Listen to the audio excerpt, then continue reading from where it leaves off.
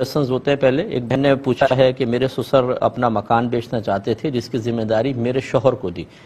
एक पार्टी आई, सौदा तय हुआ, बयाना ले लिया, तीन महीने का टाइम दिया, लेकिन वो पार्टी तीन महीने में पैसा ना दे सकी, सौदा कैंसिल हो गया, हमने बयाना जब्त कर लिया।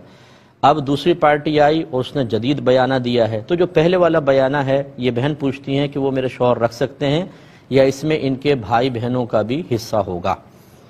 देखें, इसका जवाब यह है कि बयाना जो है, ये हमारी अपनी इख्तरा और ईजाद है। शर लिहाज से बयाने का कोई तस्वुर नहीं है। ईजाब कबूल से ही सौदा पक्का हो जाता है।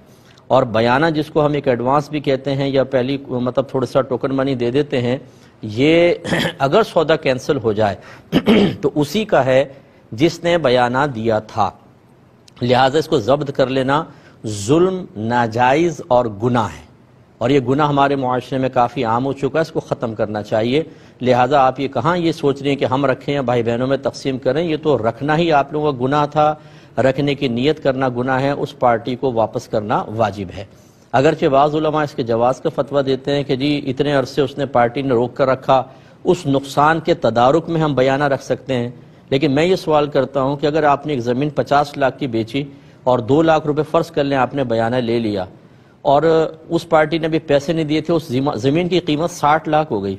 अब वो सौदा कैंसिल करता है, अब अगर आप ये दो लाख वापस करते हैं, बताएँ आपको क्या नुकसान है?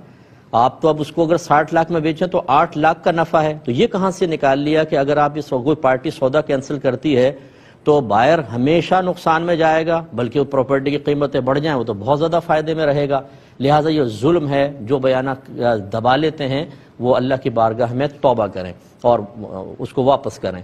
हाँ अगर ये सूरत हाल हो कि जी ऐसा अक्सर हो जाता है कि पहले पार्टी प्लॉट रोक लेती है, किसी फासिद नीयत की वजह से और बाद में मना कर देती है, अब हम बयाना भी वापस कर दें तो इसमें मालिक के नुकसान का अंदेशा हो सकता है, लेकिन किसी की नीयत का हाल तो हमें नहीं पता। उसकी खाली नीयत के ऊपर बदगुमानी करके हम उसका पैसा जब्त नहीं कर सकते। यूँ आप कर सकते हैं कि जब आप ये मकान बेचें और बयाना लें तो वो बयाना असल में आप एक पेन की कीमत के तौर पर लें।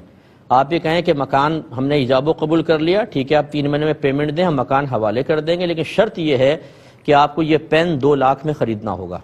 वो कहे, ठीक है, अब उस पेन की कीमत आपने दो लाख में ले ली। अब अगर वो और दो लाख ले लिए, पेन दे दें उनको। अब अगर सौदा कैंसिल भी हो जाता है तो आपको ये दो लाख देने की ज़रूरत नहीं है, क्योंकि ये तो पेन की कीमत थी, पेन आपने दे दिया। अब इस पर यह सवाल हो सकता है कि हदीस में है कि बै और शर्त को जमा करना मना है। तो जवाब यह है कि बहुत सी शराइ ऐसी हैं जो मुरवज हो जाती हैं और फ़ुकहा ने उनकी इजाज़त मरहमत फरमाई है। जैसे गारंटी वगैरह चीज़ों की हम तलब करते हैं कि ये मैं मोबाइल लेता हूँ, कितनी वारंटी है? वो कहता है, एक साल की वारंटी है। तो ये हम शर्त ही तो लगा रहे हैं कि खरीदता हूँ, इस शर्त पर कि एक साल की वारंटी होगी।